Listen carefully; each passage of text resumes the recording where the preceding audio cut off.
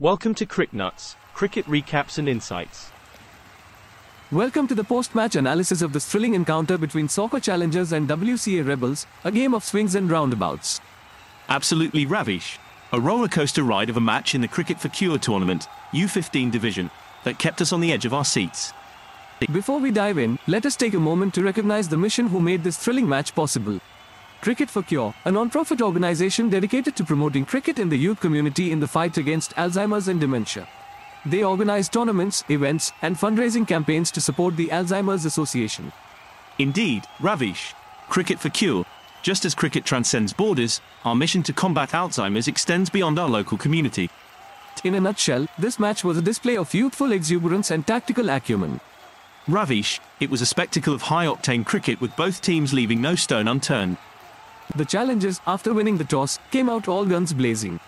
Artyant and Arnav's 81-run partnership was the backbone of their innings.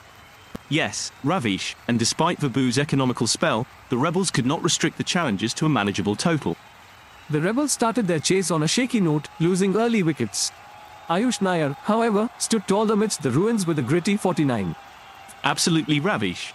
But High Diet's double strike and disciplined bowling from the challengers kept the rebels at bay. Artyant's blistering 57 off 41 balls for the challengers was the game changer today. And let us not forget Ayush Nair's valiant effort for the rebels, Ravish. His 49 off 43 was a knock of substance. The SOCA challengers emerged victorious, winning by 36 runs. A well-deserved win indeed.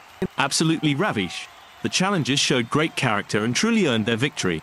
This match was a testament to the spirit of cricket, showcasing both the raw talent and strategic depth of these young players.